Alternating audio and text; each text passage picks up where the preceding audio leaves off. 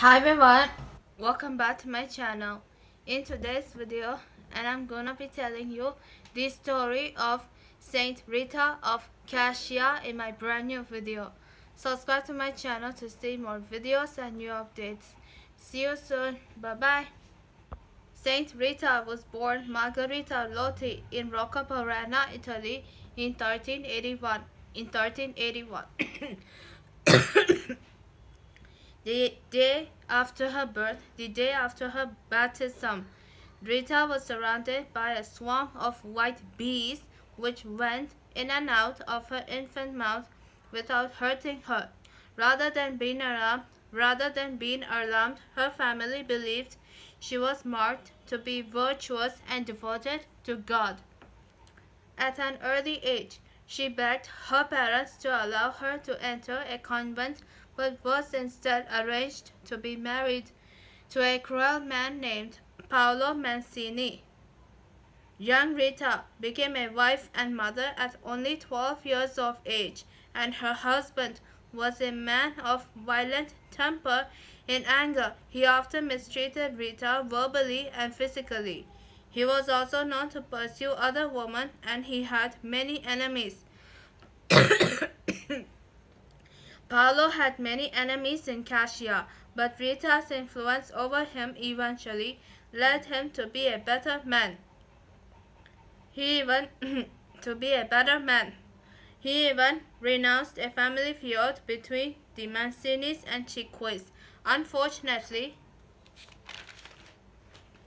the feud between the Mancini and Cascia family grew turbulent, turbulent, turbulent, turbulent, and one of Paolo's allies and one of Paolo's allies betrayed and killed him.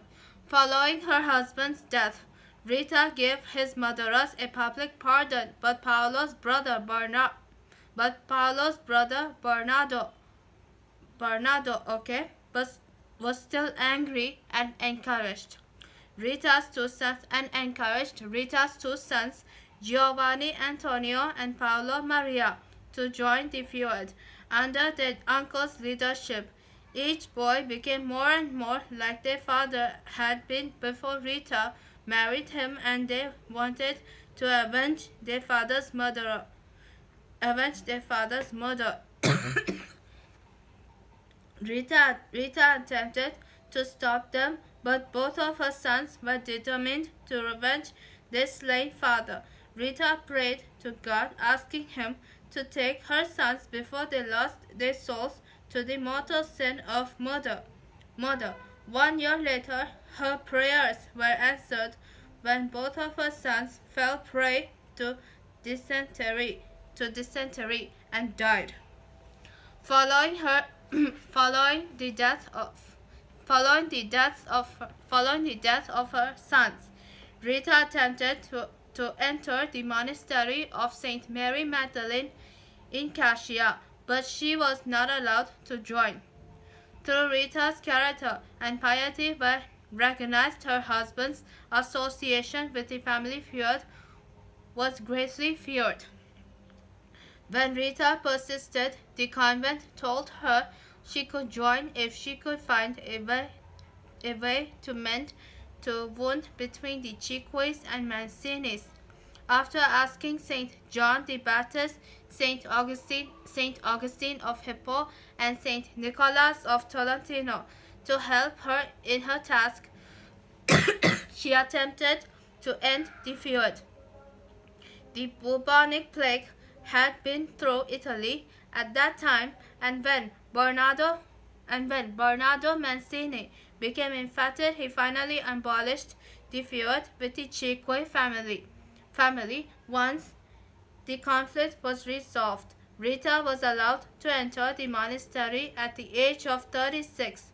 It is said that she was transported into the monastery of Saint Magdalene through levitation at night by the, by the patron saints she appealed to.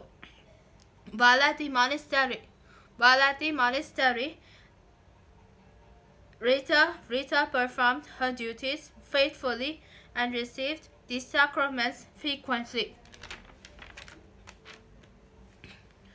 Rita had a great devotion to the, to the Passion of Christ, and one day, when she was 60 years old, she asked, Please let me suffer like you, Divine Savior.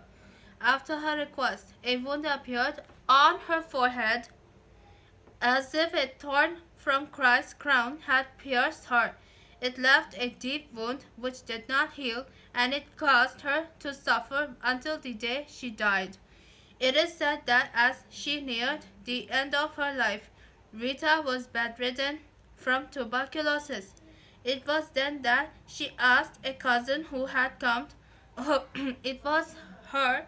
It was then that she asked a cousin who had come to visit for a rose from the garden in her home in her old home as it was January, her cousin did not expect to find any roses, but there was a single rose in bloom, which was brought back to Rita at the convent. She passed away four months later.